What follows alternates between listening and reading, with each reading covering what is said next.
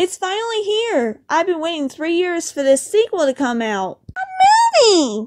The Angry Birds movie, too. Whoa! Today is the day I will be the first in line to see the sequel. Come on, Madison. We don't want to wait a long line. Sold out? I'm sorry, kid, but we're sold out of tickets. Oh no! How are we gonna see the movie? You can order tickets online. That's the only way. But I can't wait a couple days to get tickets. I want to see the movie now. Well, I guess we won't be the first in line to see the movie. We can't give up. We can see the movie. Oh, we don't have tickets and they're all sold out. What do we do now, Mommy?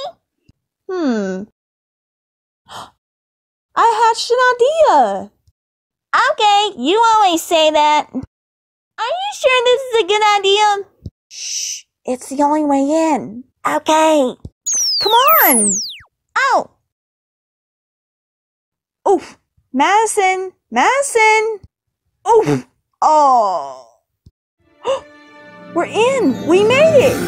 Oh, look. It's starting. This is going to be great. yeah. Hey, kid, where's your tickets? Ah. Mm. I'm afraid I'm gonna ask you to leave. but we don't. Security! Wait, you can't kick us out. Mommy ordered tickets. If you don't know who I am, I'm Tiffany, the leader and artist of Colorful Island. You gotta let me and Madison see the movie. I'm afraid I can't. Did you say you're Tiffany? You have a reserved seat. Ooh! Ah!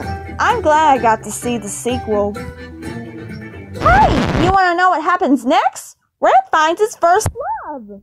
Ah! Spoiler!